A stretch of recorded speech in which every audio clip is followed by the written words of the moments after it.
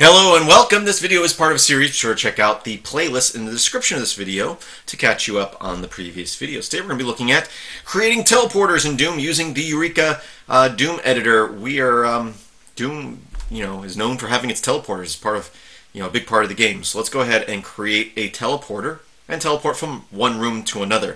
First thing we're going to need to do is create a second room uh, that we can teleport to. So I'm just going to go ahead and hit V to go into vertices mode and I'm going to go spacebar, spacebar, spacebar, spacebar, and I mean that, not that it matters, I'm going to make the rooms both the same size. Okay, so now we have two rooms, but they're not connected, so I can't get from this one to that one, so what we're going to have to do is create another sector inside this sector. So again, V, and I will draw a little sector there. And I can teleport him anywhere in this sector I want. Um, but it's nice to have a landing pad, a teleport landing pad. But we'll do that in a moment. For right now, let's go S into sector mode. And real quick, let's change the um, textures here so it looks like a teleport. Let's hit tab to go into 3D mode, preview mode, and there we go. I'm going to hit uh, period once or twice and the left bracket, square bracket once or twice to bring the ceiling and the floor up and down. And now we have a little teleport, but it doesn't actually teleport you anywhere. Well, the way teleporters work is that the walls, the lines that you cross, are what teleports you. So I'm going to go L into line mode, and it's very important here. Again, the lines have two sides, and one of them have, have a line coming out of them. That's the front side there. And it's when you're walking through it that way that it will teleport you. Uh, that way, when you, let's say you land on the teleporter, you can walk off it without being teleported, and then you can walk back on to be teleported. If it teleported you either way, you'd never be able to get out of this little teleporter platform because you'd be teleported back and forth. So there we go, we have that. We're going to go choose, and now we're going to say teleport, and we have some options here. Uh, you may or may not see all these options. See, a lot of these say boom on them, and that's because that's the port of Doom I'm using. You'll probably just see, if you haven't cho chosen, or depending on what uh, port of Doom you're using, you'll see these first um, four. Uh, all of them are walkthrough, and then you have walkthrough once, so it will only teleport once and then stop, or R for repeat, so WR is report, and then and then you have whether you're it will teleport uh, monsters or not. So let's go ahead and um, just choose repeat walkthrough here. But where is it going to teleport you to? Well, let's go uh, over here to tag and set this to 1. You just want it to be a unique number. And then S for sector mode, and I'm going to choose this sector over here, and I'm going to choose 1. Again, making sure you click out of that box or it may not save that.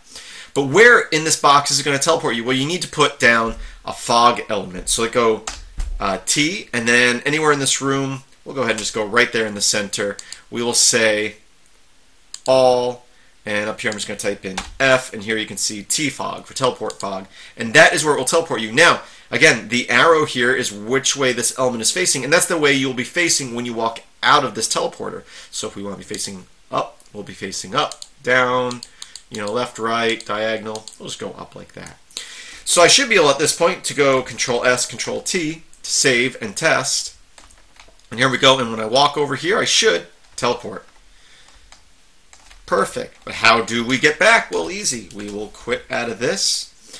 I'll come over here and let's go ahead and create a teleporting pad over here. Again, you don't need a teleporting pad. That's just more uh, for looks. But I'm going to go V and I'm going to draw a larger box here. And I'm going to choose this for the ceiling and ground. And again, to move my uh, 3D view over here, I can either come through here and just walk through the wall till I get over there. Or in this view, I can go ahead and hit the apostrophe tab. Now I'm in this room. There it is again. Period to move the ground up and down. Or of course you can do it over here. And the ceiling can come down. Now I did a little four part teleporter here. It's all going to act as one teleporter. Um, but here's the thing, if I want to be right in that center of that room, it's all, you know, again, design issues. Uh, but if I was to, let's move our grid here, put this um, not lined up like that, that's what your teleporter is going to look like. So the way this room is lined up, let's go ahead and just go line. If I was to move my walls like this, that's what my teleporter would look like. And well, I guess that looks okay, but it's not really how I envision it with the circle in the middle. Um, so to get that to line up, you've got to have uh, the sector lined up because as far as I know, you can't adjust uh, the ceiling and floor flats uh, like you can wall textures because they're just so I could move this whole sector like that if I want to have the teleport right in the middle of the room. So that's another option. So again, let's go into sector mode. Now we have two sectors here, this big one and the small one, both with the tag one, which isn't hurting anything. But let's go ahead and remove the tag from this uh, larger room. We should now still, oh, yep, save and test, Control S, Control T, and now I should be able to teleport to that little platform there. It does not bring me back though. To bring to teleport back, I can go into line mode, select just the lines here, or if I hit sector, I can choose that sector and then hit L and it will select all those walls for me. Let's go ahead and say 2, and then we will choose to teleport repeat, and then over here, we're going to go back into sector mode, choose this sector, make sure we unselect the other sector, choose this sector, and must have had that sector selected before we'll make that 2. So this is sector 2, and this is sector 1. And if we highlight, you see when I highlight one of these walls, these lines, you'll see this sector over here light up. And when I highlight, the, light, highlight these lines, that sector is going to light up a different color. Okay, we still need to put our fog in there. So T to things, spacebar to place something. We'll choose our fog there. And think I did everything. Let's go ahead and save that. So now I should be able to teleport and then when I get off, I can get back on and teleport through again, and teleport through again. And again, because it only teleports when you walk through the line there that's pointing out, it doesn't teleport me when I walk off the platform, but only when I walk back on. Now, uh, what we could do, let's go ahead and just sector mode, and I'm going to select this whole sector here, Control C, I'll place it up here, move it so the ground texture lines up. Now let's go ahead and make some changes here. I'm going to choose this sector here. I'm going to go fresh to give it a sector of 3. Now I'll come back over here, choose this sector and its lines, and change that to 3. Now, uh, so now I should be able to teleport from here to here, and from here to here. And now let's choose these lines here. So I'm going to tab to unselect, choose that, and I choose that. I think I set that to 2 if I remember correctly. And if I did that properly, let's go ahead and move this one down in this corner here just so we have a visual when we move out. And actually, let's, let's change wall textures so we know that we're in different rooms. We'll change it to that. We'll select all these and change them to that. So now, I did everything proper. I should be able to teleport to here. And then from there to, oh, to there. I thought I changed that wall texture, but apparently I made it the same as the other one. Let's go ahead and... Oh, yeah, I have them all selected. You got to make sure you deselect things when you're selecting other things. Let's go L. See, they're all selected. Select this, L, and we'll make that a red brick like that. Okay. Just gave them different wall textures so we know when we're in different rooms. I should be able to teleport to the brown room, to the red room, back to our original gray room, and I can just keep going like that over and over again. Now, let's go ahead and add some bad guys here. Uh, actually, no, I'll talk about that. Well, no, we'll, we'll, we got time. We got another minute or so. I don't I don't like these videos getting too long. Uh, let's go ahead and put a wall texture here, or a sector here. It's going to be an invisible sector. You're not going to see it in the game. I'm going to go lines, and I'm actually going to hit W to reverse those. Uh, and then I'm going to give them a sector of 2 and say that they will teleport. And I'm going to go things and I'm going to put an enemy in there. Monster.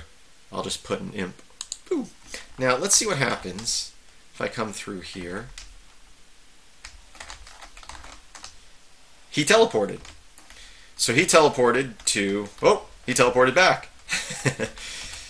so, so that teleporter works for him. But if I come in here for some reason, I don't want it to teleport bad guys, so I want to teleport somewhere, but I don't necessarily want the bad guys following me.